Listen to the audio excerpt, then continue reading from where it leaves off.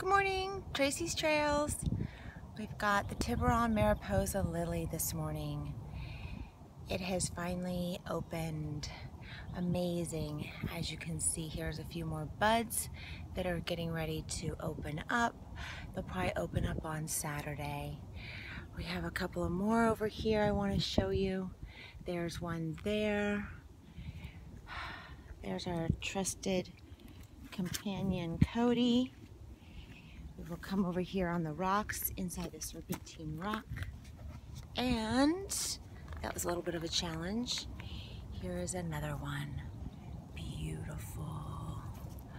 Okay, hope you like that. Happy trails.